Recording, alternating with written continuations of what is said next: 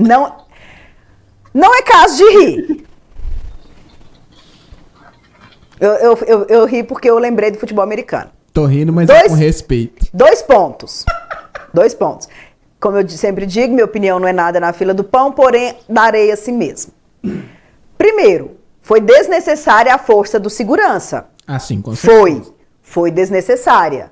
Ele fez o papel dele, ele trabalhou, mas foi desnecessário. Poderia ter contido a moça, segurado. Ele não precisava ter dado esse empurrão, ter dado essa pancada na fã do Leonardo. Foi desnecessário? Foi.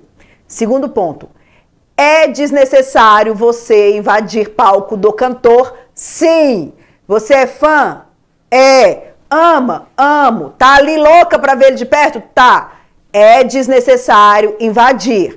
Nayara Azevedo já parou o show pra falar o quanto é perigoso subir em cima do palco, porque ela tá cheia de fios, tá cheia de coisas. Vocês já viram vários outros artistas que tiveram o palco invadido e aí o segurança tem que conter, ou o artista que trata mal, o artista tá naquele momento concentrado cantando. Aí você imagina que você tá de costas, a pessoa vem correndo nas suas costas, do nada, sendo que você tá ali trabalhando, né? Vamos, vamos se, se imagina aí onde você tá. Você tá aí, fazendo o seu trabalho. Do nada surge uma pessoa nas suas costas ali, desesperada.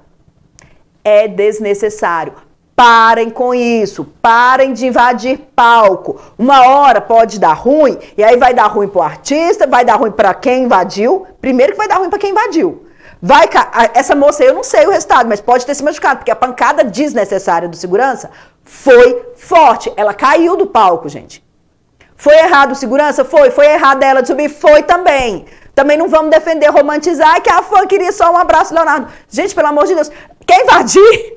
Espera no mínimo o cara tá de frente pra você, vendo que você tá subindo. Vários artistas vêm e deixam o, o, o fã subir. Por quê? Porque ele tá vendo, ele tá vendo ali, às vezes tá acompanhando durante o show que é uma pessoa que tá muito desesperada, quer entregar alguma coisa, mas o artista está te vendo. Agora, o cara tá de costas, o cara tá concentrado, o segurança tá tentando fazer. Tá tudo errado ali. Tudo errado. Tudo.